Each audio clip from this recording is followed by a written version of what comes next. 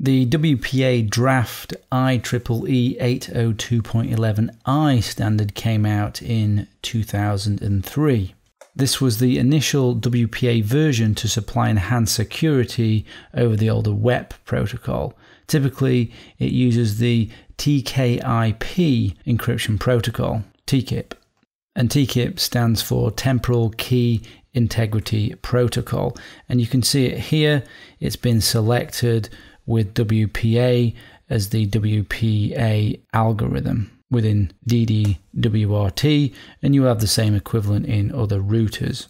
The RC4 stream cipher is used with an 128 bit per packet key, meaning that it dynamically generates a new key for each packet. The resulting encryption key will be different for each and every frame. That's WEP key plus IV value plus MAC address equals new encryption key, which is good. The IV length was increased over WEP, which again is good. TKIP is backwards compatible with the 802.11 standard, which may not be a good idea. It works with WEP by feeding it more keying material, which is data to be used for generating new dynamic keys. TKIP provides a key mixing function which allows the RC4 algorithm to provide a higher degree of protection than WEP. It also provides a sequence counter to protect against relay attacks and implements a message integrity check mechanism.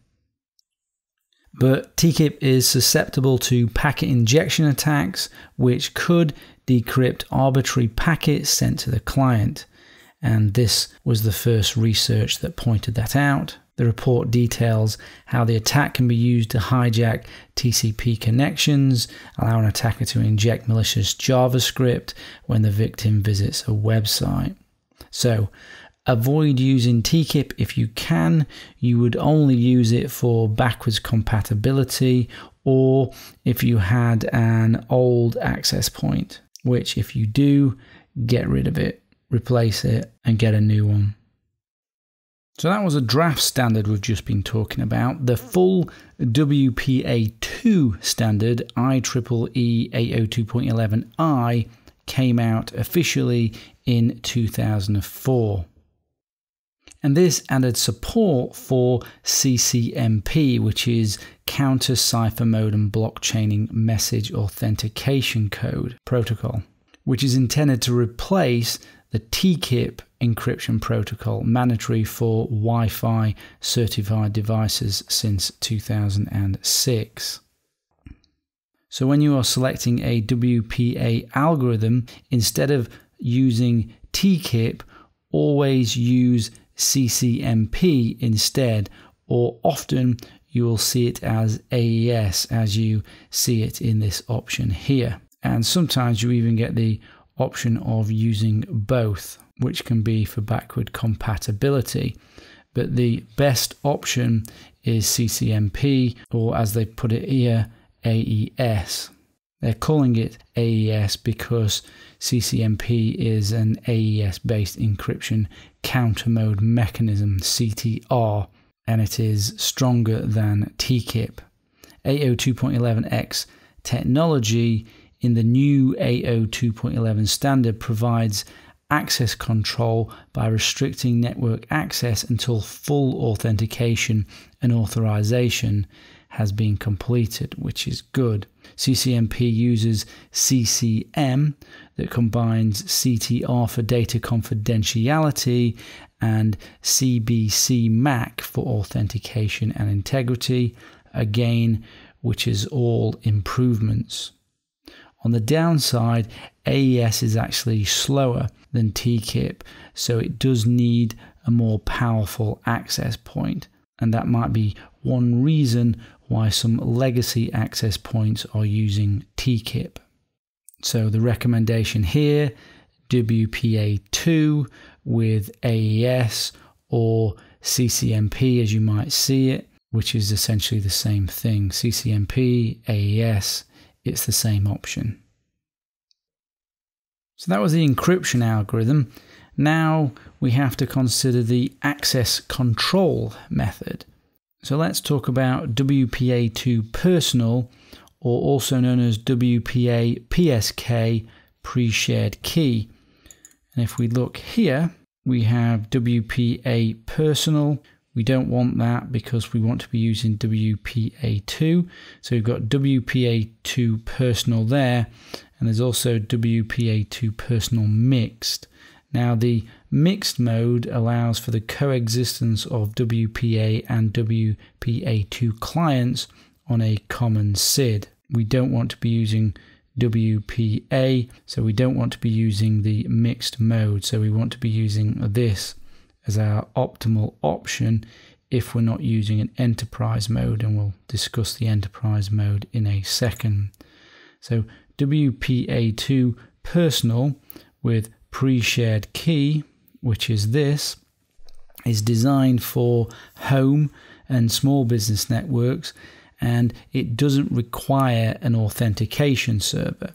Each wireless network device authenticates with the access point using the same 256 bit key generated from a password or passphrase. This is the mode you will probably be most familiar with. You set a password on the router, the wireless access point, and everyone just uses the same password on every device. That is WPA2 pre shared keys, the pre shared password. But it's poor. It's poor because everyone shares the same password. And if you want to change it, you have to change it on all devices, which is a pain but it does do the job on a small network, a home network, a business network. And you can, with modern firmware like this one, you can have separate Wi Fi networks as discussed that you can have separate passwords for.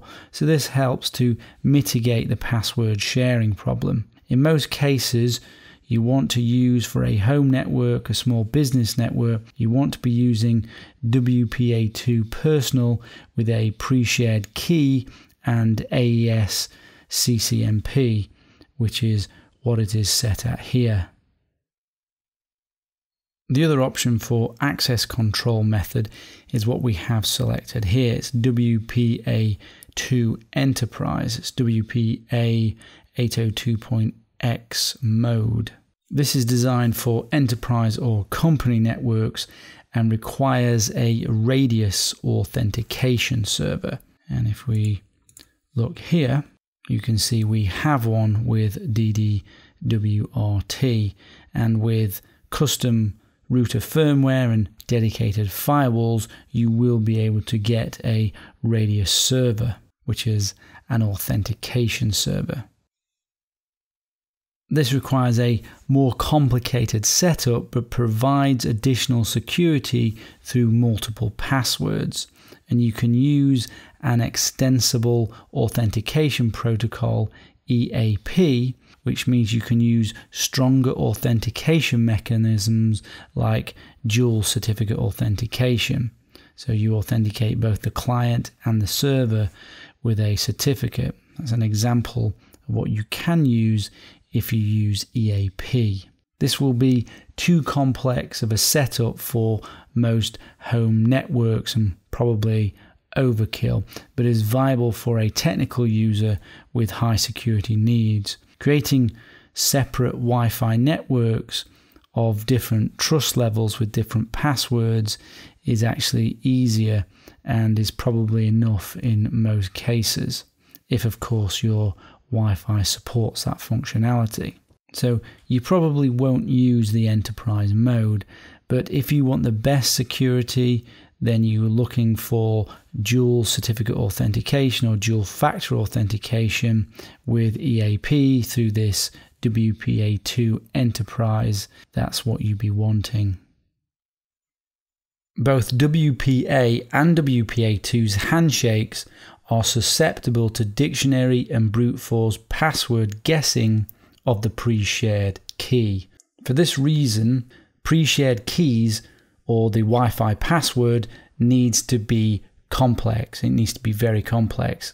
They are only entered once per device, so should be both complex and long using special characters, letters, upper and lower case, and numbers.